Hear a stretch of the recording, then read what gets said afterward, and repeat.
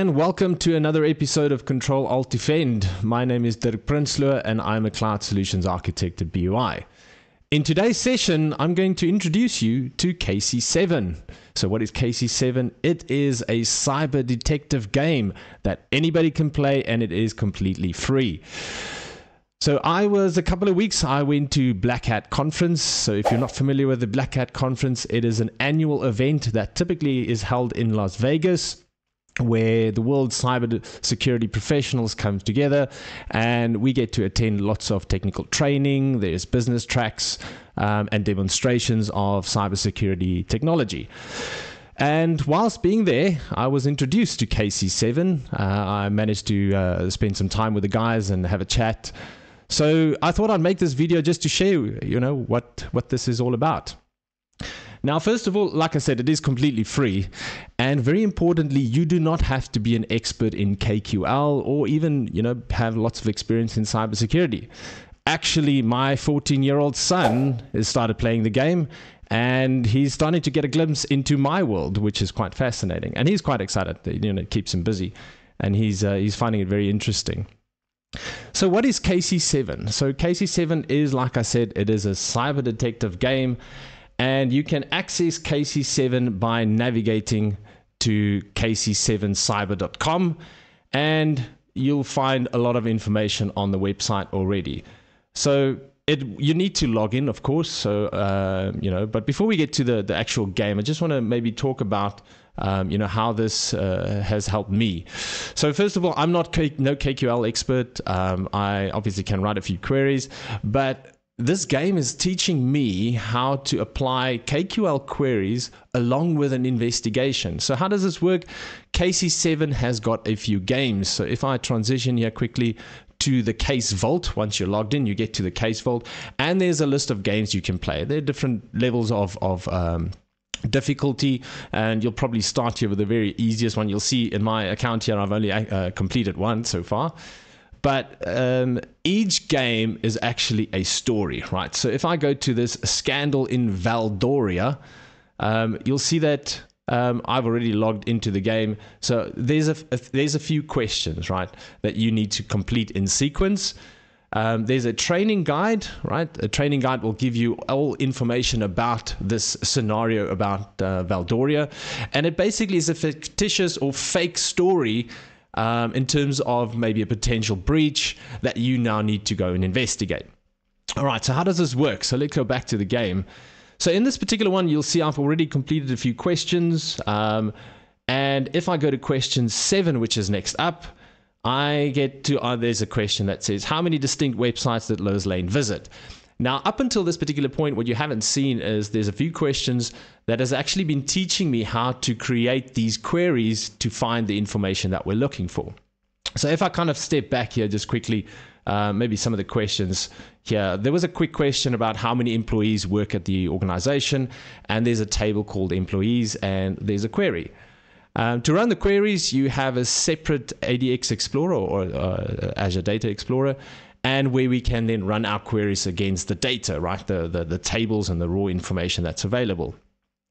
Now, if I go back to that question saying, you know, we need to uh, find this source IP address, I've got no idea where to start. Um, you know, even none of the questions that I've answered so far is giving me, you know, where do I find uh, the source IP of this this um, Lois Lane? If you hover over the little question mark there, they give you a little hint, right? So you can find the Lois's IP address in the employees table, right? So let's go to the employees table and uh, not the email. Let's go back.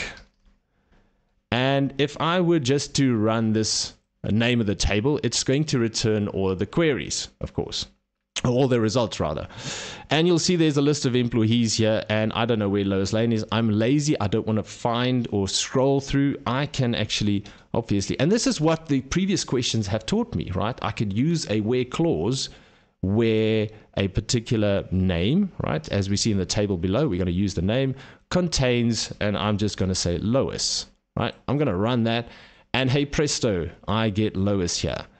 Now I can see uh, uh, information about Lois, of course, right? That was the hint. I get the IP address. So I'm just going to copy that. I'm just going to paste it here somewhere separate on a notepad. We'll come back to this in a second. All right, let's go back to the questions. Oh, which tab? There we go. And our question was we need to find the distinct websites that Lois Lane visited using this query. All right, so I'm going to copy this for now. I'm going to go to the ADX Data Explorer and let's replace that. Now, obviously, this one won't work. So I'm just going to take out all the clauses and just run output network events. And obviously, I get a whole bunch of information. I can see the URLs being visited, of course, right?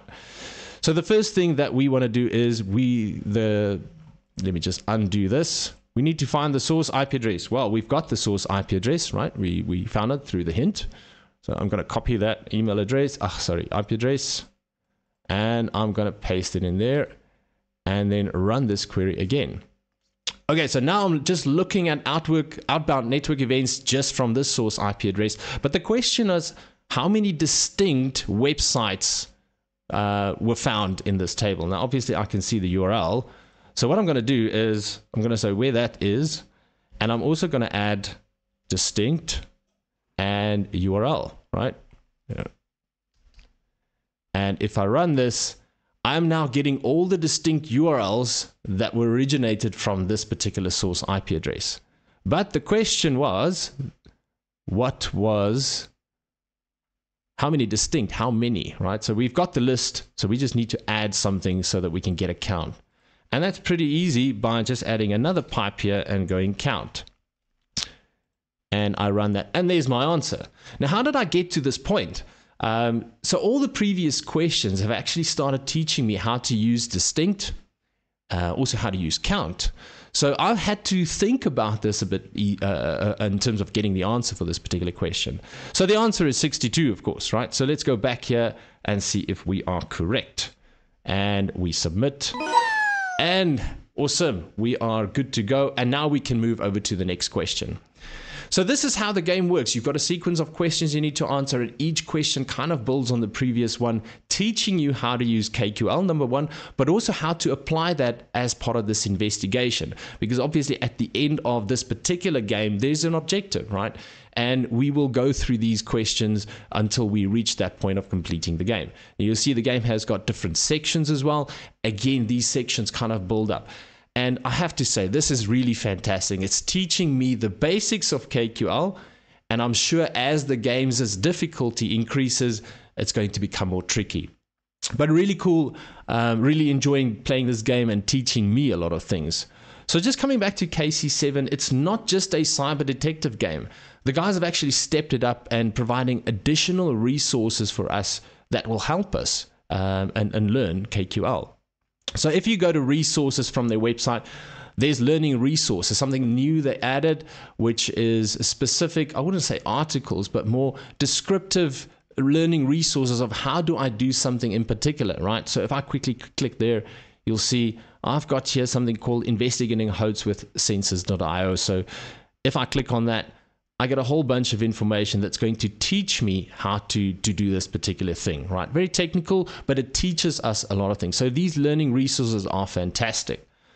Also, if you're an educator, uh, right, from a school or a university, there are KC7 for educators that allows the educators to also share particular things with their students and teaching them how to do um, these same kind of investigations.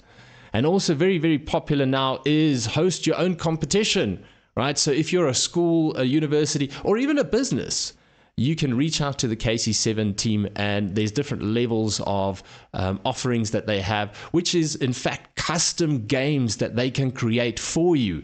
So, if you imagine you're an organization, you've got a particular need for such a game, uh, maybe an event of some sort, you know, challenging your coworkers um, you know, you can you can do that. Uh, the team can help you set up a custom game.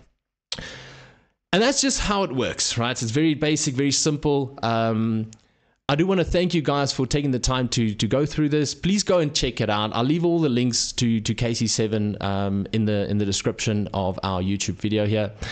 So um, yeah, go forth and play and, and, and, and learn. I think that's the most important one. So again, um, for our next episode, uh, we'll be covering the news of uh, all the cybersecurity uh, news that Microsoft has announced um, in last month, which is of course August. So yeah, um, I'll check it out in uh, in the next episode. Ciao, ciao. Bye bye.